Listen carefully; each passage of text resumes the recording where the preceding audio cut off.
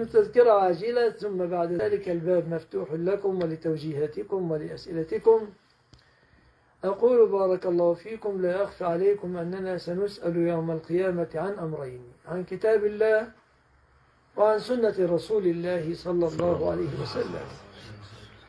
لن نسأل عن زيد وعمر من الناس فإن الله قال تلك أمة قد خلت لها ما كسبت ولكم ما كسبتم ولا تسألون.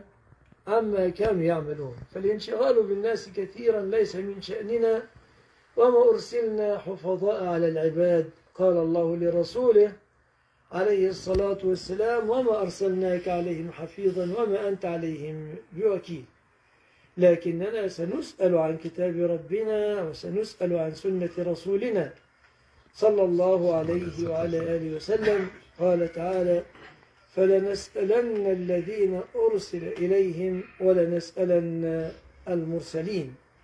فلنقصن عليهم بعلم وما كنا غائبين. وقال رسول الله صلى الله عليه وسلم إنكم مسؤولون عني فما أنتم قائلون؟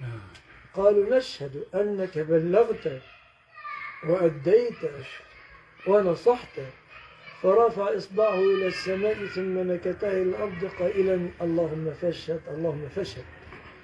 فأرجو من إخواني وقد يسر الله لهم سبيل الوصول إلى مدينة رسوله محمد صلى الله عليه وسلم والمدينة التي اختارها الله لرسوله بعد هجرته من مكة التي هي أحب البقاع إلى الله إذ النبي عليه الصلاة والسلام قال والله يا مكة إنك لأحب بلاد الله إلى الله وأحب بلاد الله إلي ولولا أن قومك أخرجوني منك ما خرجت.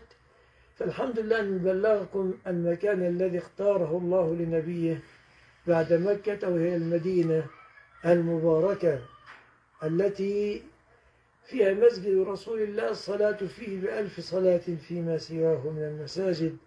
التي بها مسجد قباء وكان النبي يزوره راكبا وماشيا إلى غير ذلك من الفضائل التي لا تخفى عليكم في شأن من مات في المدينة إلى غير ذلك. أما وقد وصلتم إلى هذه البقاع أنصح نفسي وإياكم بالاستزادة من العلم بكتاب الله وبسنة رسول الله صلى الله عليه وسلم. فسائر العلوم كلها تبع لذلك.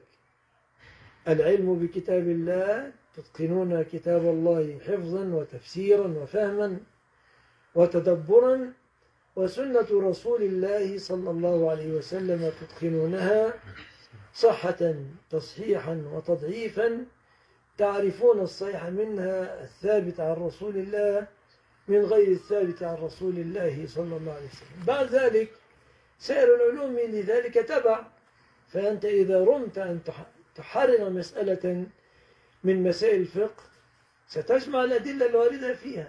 فإذا كنت لا تعرف الصحيح من الضعيف حصلت لك إشكالات لأنك لا تستطيع أن تميز بين صحيح وضعيف وتظن أن هناك تضاربات بين أحاديث الرسول وحاشاه من ذلك فرسولنا لا ينطق عن الهوى إن هو إلا وحي يوحى. قال تعالى فلا يتدبرون القرآن ولو كان من عند غير الله لوجدوا فيه اختلافا كثيرا. فعليكم أن تولوا علم الحديث اهتماما لأن كل العلوم الأخرى عال عليه. لا يصح أن تكون مفسرا وتفسر آيات بأحاديث ضعيفة. يخرج التفسير فيه اعوجاج لا يصح أن تكون فقيها وأنت تستدل للناس بأحاديث ضعيفة غير ثابتة. وكم من خطيب يصعد المنابر ويخطب ووجهه يحمر وينفعل وهو يحدث بحديث مكذوب على رسول الله. صلى الله عليه وسلم. فأرجو لوجه الله أن تولوا سنة النبي صلى الله عليه وسلم اهتماما. فالأصلان نعض عليهما بالنواجذ. كتاب الله سبحانه وسنة رسول الله صلى الله عليه وسلم الثابتة الصحيحة. نعض عليهما بنواجذنا. في أزمنة الفتن وفي غير أزمنة الفتن. كتاب الله أمامنا وسنة رسول الله صلى الله عليه وسلم أمامنا. فعلينا أن نعض عليهما بالنواجذ. ولا يخفى عليكم أيها الإخوة أن الله قال يؤتي الحكمة من يشاء ومن يؤتى الحكمة فقد أوتي خيرا كثيرا. وقال الرسول عليه الصلاة والسلام من يرد الله به خيرا يفقهه في الدين. فأحيانا تكون عندي نصوص كلها ثابتة عن رسول الله أحتاج إلى أن أجمع بينها أحتاج إلى أن أجمع بينها. فحينئذ اسألوا أهل الذكر إن كنتم لا تعلمون. إن تعذر علي فهم النص أرجع لأهل العلم امتثالا لأمر الله. فاسألوا أهل الذكر إن كنتم لا تعلمون. قد يشكل علي مثلا حديث من قال لا إله إلا الله دخل الجنة. ما حديث لا يدخل الجنة قاطع أي قاطع رحم. كيف؟